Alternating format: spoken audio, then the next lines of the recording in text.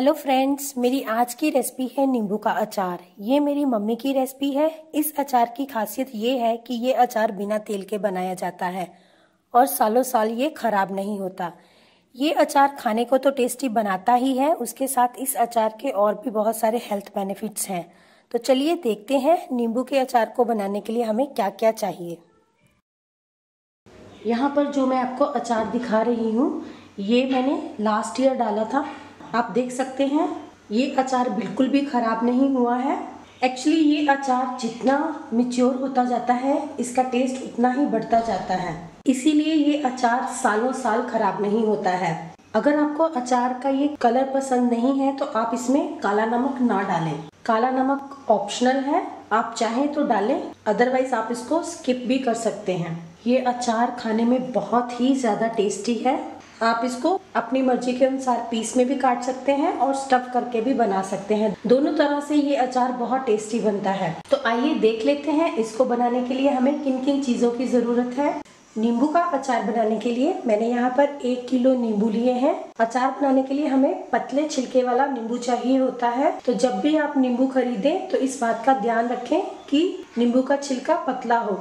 इसके अलावा हमें चाहिए चीनी, नमक कुटी हुई काली मिर्च, अजवाइन, लौंग, मोटी इलायची, मगज, काला नमक, देगी मिर्ची और लाल मिर्ची। देगी मिर्च कलर के लिए होती है और लाल मिर्च तीखे के लिए।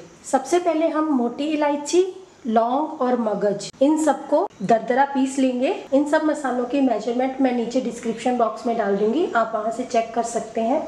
मोटी इलायची को छील कर उसके दाने निकाल कर उसको पीसेंगे। अब एक बर्तन में इन सब मसालों को मिक्स कर लेते हैं। चीनी नमक अजवाइन काला नमक काली मिर्च लौंग इलायची और मगज को हमने पीस लिया था वो भी इसमें डाल देंगे। तीखी लाल मिर्च और देगी लाल मिर्च। अब इनको मिक्स कर लेते हैं। नींबू के अचार में भरने के लिए हमारा मसाला तैयार हो गया है। अब नींबू को काट लेते हैं। एक नींबू उठाएँगे। इसको सेंटर में से ऐसे क्रॉस का निशान लगाते हुए कट करेंगे। ऐसे ये नीचे से जुड़ा हुआ रहना चाहिए। सारे नींबू हम इसी तरह से काट लेंगे। आप चाहें तो इसको ऐसे सिंपल चार टुकड़ों में काट कर भी बना सकते हैं। आपको इसमें से जो भी मेथड पसंद आए, आप उस, उसके अकॉर्डिंग नींबू का अचार बना सकते हो। बाकी के नींबू भी मैं इसी तरह से काट के तैयार कर लेती हूँ। नींबू मैंने काट के तैयार कर लिए हैं। अब इसमें मसाला भर देते हैं। एक स्पून की हेल्प से या फिर हाथ से ही इसमें मसाला भरते जाएँगे। ऐसे जितना भी इसमें आ जाता है और इसको साइड में रखते जाएँगे। अचार डालते समय आपके हाथ बिल्कुल ड्राई होने चाहिए, नहीं तो आपका अचार ज़्यादा टाइम तक नहीं चलेगा। और जिस भी बर्तन में आप बना रहे हो, वो भी एकदम ड्राई होना चाहिए। सारे नींबुओं में इसी तरह से मसाला भर लेते हैं।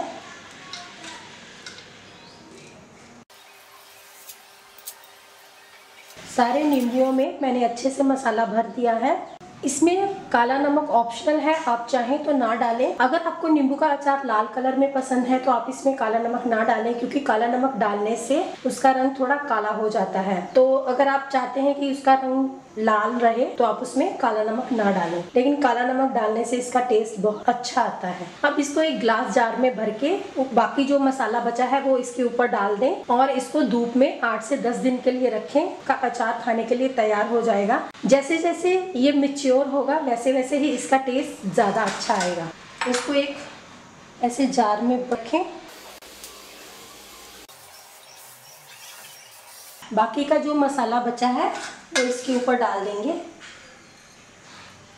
इसमें आपको ऑयल बिल्कुल भी नहीं डालना है। ये अचार बिना ऑयल के भी सालों साल चलता है। अब इसको ढक्कन से या फिर मलमल के कपड़े से कवर करके धूप में आठ से दस दिन के लिए रखते हैं आपका अचार तैयार हो जाएगा। तो फ्रेंड्स अगर आपको मेरी ये रेसिपी अच्छी लगी हो तो मेरी वीडियो को लाइक कीजिए और मेरे चैनल को सब्सक्राइब करना ना भूलें। Thank you